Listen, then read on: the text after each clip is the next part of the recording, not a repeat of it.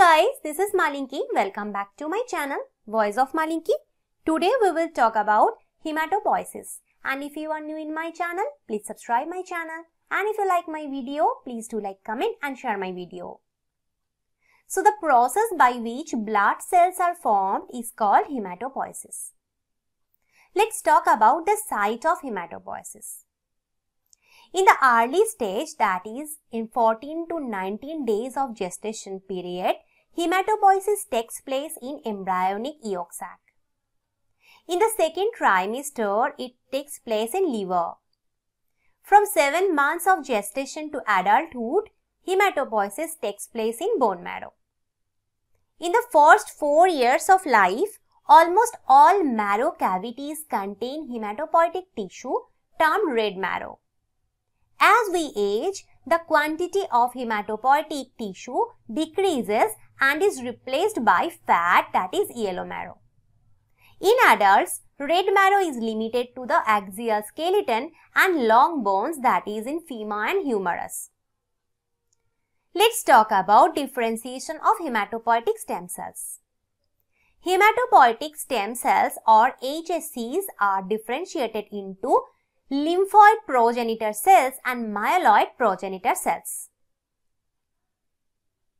Hematopoietic stem cell is differentiated into lymphoid progenitor cell and myeloid progenitor cell. Lymphoid progenitor cells are differentiated into lymphoblasts.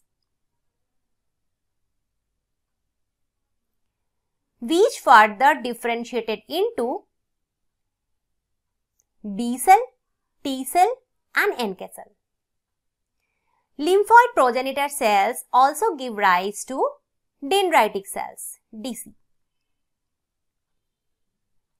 Myeloid progenitor cells are differentiated into myeloblast, promonocyte, mast cell precursor, erythroblast and megakaryocyte. Myeloblasts are differentiated into neutrophil, eosinophil, basophil. Promonocytes are differentiated into monocyte. Mast cell precursors are differentiated into mast cell. Erythroblasts are differentiated into erythrocytes. Megakaryocytes are differentiated into platelets. Hematopoiesis is a highly regulated process. Dysregulation of hematopoiesis causes anemia, leukopenia, thrombocytopenia. Hyperactivation of hematopoiesis causes hematological malignancies. Regulation of hematopoiesis. The regulation of hematopoiesis is dependent on certain growth factors which drive the proliferation and differentiation of progenitor cells. Let's see some examples of growth factors. Erythropoietin. It controls the synthesis of erythrocytes. GM-CSF, G-CSF, CSF is the colony stimulating factor. Interleukin 3, they, they control the synthesis of neutrophils.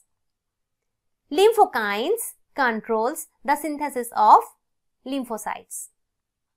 Thrombopoietin controls the synthesis of platelets.